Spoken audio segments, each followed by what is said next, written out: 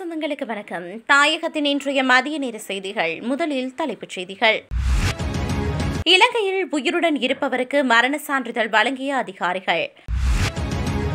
யாழ்ப்பாணத்தில் ஒரே வாரத்தில் தங்கத்தின் விலையில் ஏற்பட்ட மிகப்பெரிய மாற்றம். உடலில் வலி மற்றும் தலைவலி உள்ளதா? அவதானமாக இருங்கள். எந்த நேரத்திலும் எதுவும் நடக்கும். நெருக்கடியை முன்னரே அறிந்தால் ஏன் நாணய நிதியத்திடம் செல்லவில்லை? ஜனாதிபதியிடம் கேள்வி முன்வைப்பு. இன்றும் ஜனாதிபதி செயலகம் முற்றுகை. பலப்படுத்தப்பட்டுள்ள பாதுகாப்பு. கடும் விமர்சன. மாலைத்தீவு நீர் விளையாட்டில் அமைச்சர் நாமல். நாட்டில் பல பகுதிகளுக்கு இன்று நீண்ட நேரம் மின்வெட்டு. கேஸ்பீவ எரிபொருள் நிரப்பு நிலைய மோதல் தொடர்பில் மூன்று பேர் கைது. வெளிமடையில் உணவகம் ஒன்றின் நீர்த்தாங்கியிலிருந்து சடலம் மீட்பு. மக்கள் விடுதலை முன்னணியின் ஆர்ப்பாட்டத்தினால் கொழும்பில் கடும் வாகன நெரிசல். தொடர்பான விரிவான செய்திகள்.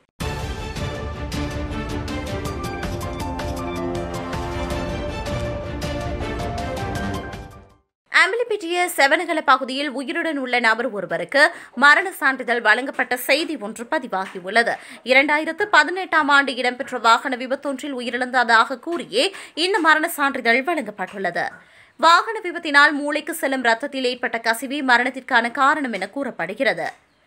நாற்பத்தெட்டு வயதான டபிள்யூ இ சரத் என்ற நபருக்கு இவ்வாறு மரண சான்றிதழ் விநியோகிக்கப்பட்டுள்ளதாக தெரிவிக்கப்படுகிறது. யாழ்ப்பாணத்தில் இன்றைய தினம் இருபத்தி நான்கு கேரட் தங்க பவுன் ஒன்றின் விலை ஒரு லட்சத்து அறுபதாயிரம் ரூபாவாக பதிவானது. இதே விலை இருபத்தி இரண்டு கேரட் தங்க பவுன் ஒன்றின் விலை ஒரு லட்சத்து நாற்பத்தி ஆறாயிரத்து எழுநூறு ரூபாய் என தெரிய வருகிறது.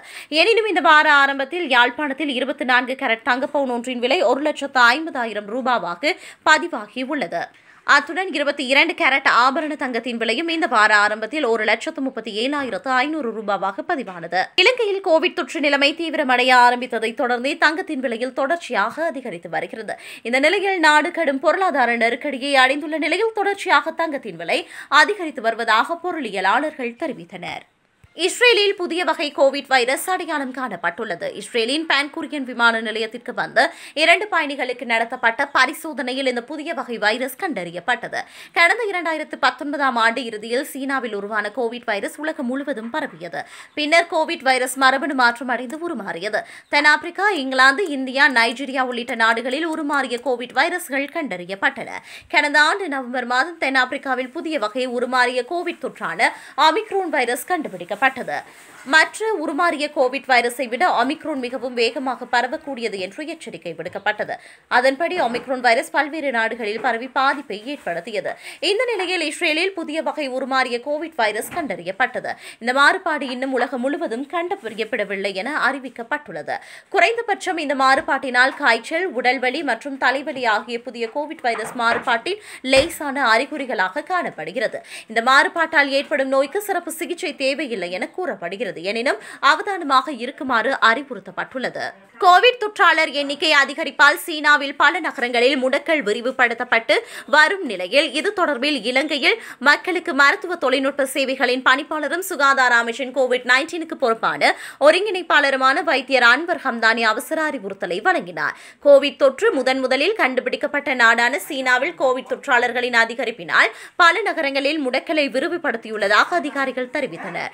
என்றும் கூட இலங்கையில் நாளொன்றுக்கு நானூறு புதிய கோவிட் தொற்றாளர்களும் குறைந்தது பத்து இறப்புகளும் பதிவாகின்றன.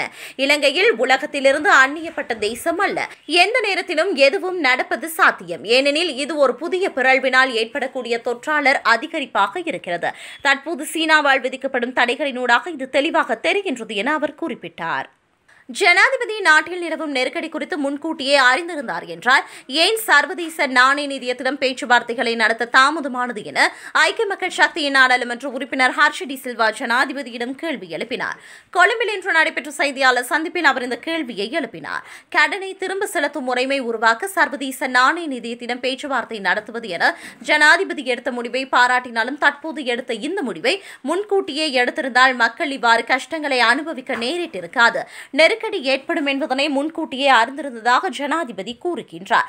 இதன் காரணமாக வாகன இறக்குமதியை நிறுத்தி அந்நிய செலாவணியை சேமிக்க நடவடிக்கை எடுத்ததாக கூறினார்.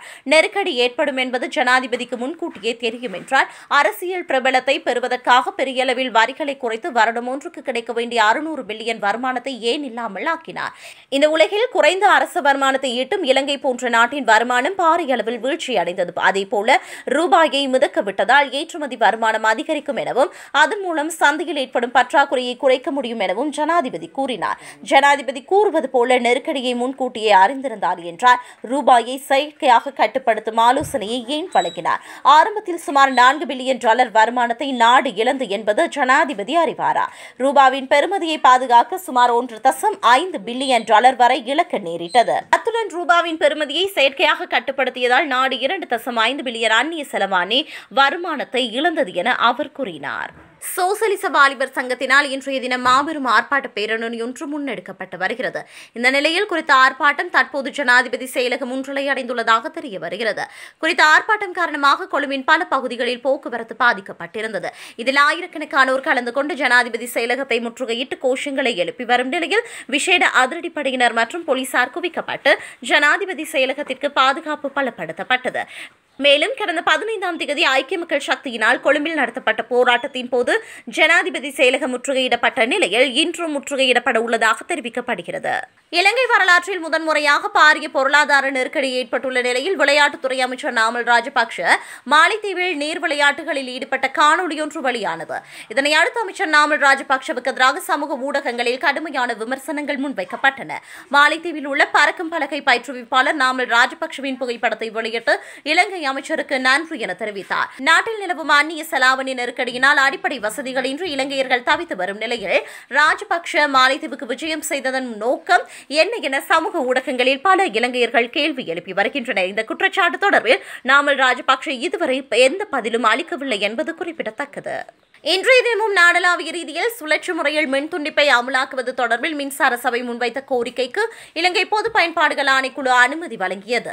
இதற்கமைய ஏ முதல் எல் வரையான வளையங்களில் காலை எட்டு மணி முதல் மாலை ஆறு மணி வரையான காலப்பகுதியில் மூன்று மணித்தியாலங்களும் இருபது நிமிடங்களும் மாலை ஆறு மணி முதல் இரவு பதினோரு மணி வரையான காலப்பகுதியில் ஒரு மணித்தியாலமும் நாற்பது நிமிடங்களும் மின் துண்டிப்பு மேற்கொள்ளப்பட உள்ளது. அத்துடன் பி முதல் டபிள்யூ ஆகிய வளையங்களில் காலை ஒன்பது மணி முதல் மாலை ஐந்து மணி வரையான காலப்பகுதியினுள் இரண்டு மணித்தியாலங்களும் மாலை ஐந்து மணி முதல் இரவு பத்து மணி வரையான காலப்பகுதியினுள் ஒரு மணித்தியாலமும் பதினைந்து நிமிடங்களும் மின்சாரத்தை துண்டிக்க அனுமதி வழங்கப்பட்டுள்ளதாக பொது பயன்பாடுகள் ஆணைக்குழு தெரிவித்தது. காஸ்பேவ எரிபொருள் நிரப்பு நிலைய வளாகத்தில் நேற்று முன்தினம் இடம்பெற்ற மோதல் சம்பவம் தொடர்பில் இரண்டு பெண்களும் ஆண் ஒருவரும் கைது செய்யப்பட்டுள்ளனர்.